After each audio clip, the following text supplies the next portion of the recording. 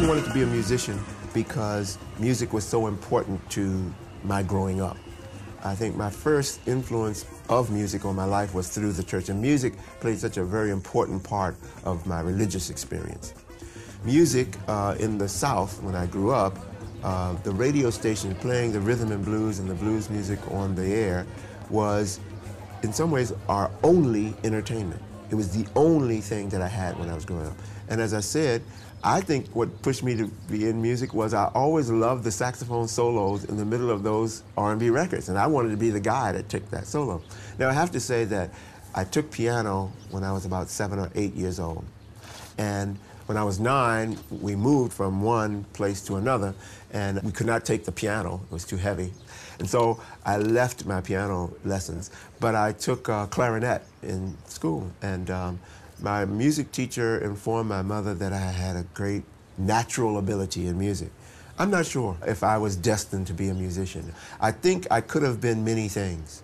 When I was young, my grandfather thought that I would be a preacher. He told my mother, he said, that boy can talk. He's going to be a preacher.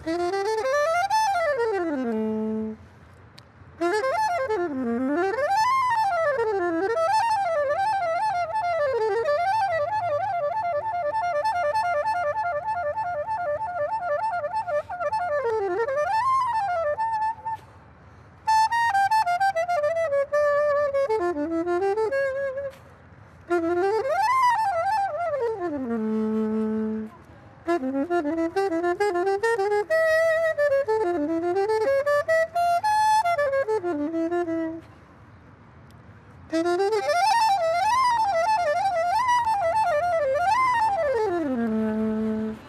when I was growing up, participated in a number of demonstrations. Um, during the, the late 60s, when I went to college at Columbia University in New York, in the year of 1968, there was a series of college demonstrations uh, across the United States that began with two universities, one Berkeley in California and the other being Columbia in New York.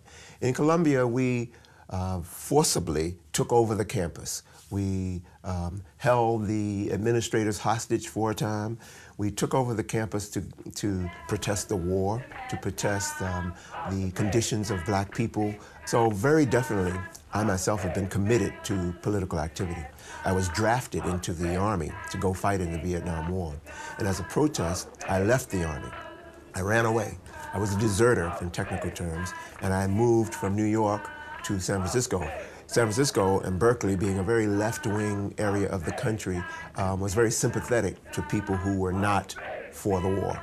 When I was in San Francisco, I got involved with the Black Panther Party, the movement um, that we call the Soledad movement around uh, George Jackson. I helped with the arrangements for Angela Davis when she was a fugitive, all the while while I myself was a fugitive from the FBI. So the music that I made during that period would be political because that was what I was involved in. And so as we talked about, music often reflects what's going on in society.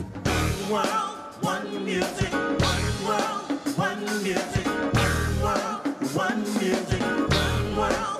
One world, one people. One world, one people. One world, one people. One world, one. Well, the music in effect, and anyhow, it's time to move. To get down, forget your inhibition, just listen. Uh, there's no reason not to change your condition. Into something you can use to get into the groove. It's made to move you out on the dance floor, up on the ceiling. This beat will have you rocking and reeling from the top to the bottom, from the bottom to the top now. Shake your booty and don't stop now. Dance to the rhythm, dance to the rhythm, dance. Dance to the rhythm, dance to the rhythm. I think funk originally and oftentimes is not overtly political. I agree. I think funk is largely a party music. But I could give numerous examples of funky music that has been to varying degrees political. I could say James Brown when he says, say it loud, I'm black and I'm proud. Or even James Brown when he sang The Big Payback. Or uh, Parliament Funkadelic, which is one of the funkiest bands ever, um, they do, when they say, people, what you doing? Standing on the verge of getting it on, really good. I think they don't just mean standing on the verge of getting it on in terms of partying. I think they mean standing on the verge of, of making a political activity. So many times funk bands do what a tradition that comes all the way from the black slavery period in the U.S., which is to have codes, secret messages within the music. Sometimes it's embedded in the music in a way that if you're aware, you get it. And if you're not aware, you don't. And this comes from the tradition of where black people had slave masters. And in order to communicate, we might create a song that has a different meaning so that the slave master wouldn't necessarily know what we were saying. So you might sing an old spiritual song, you might say, um, Swing low, sweet chariot, coming for to carry me home. Well, you didn't just mean carry me home to a spiritual home. You might mean carry me back to Africa. Or you might say, steal away, steal away, steal away to Jesus. It's a, it's a thing to say, you know, tonight would be a good night to steal away, to get away. And so sometimes we are singing funk songs with double meanings. And so in that way, the funk can be very political as well as a party music. Get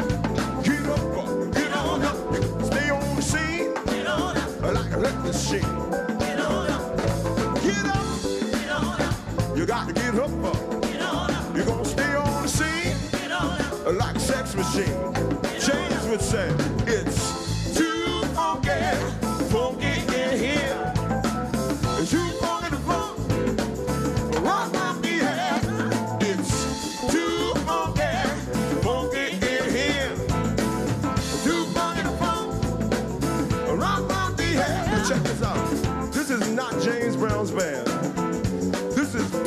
band.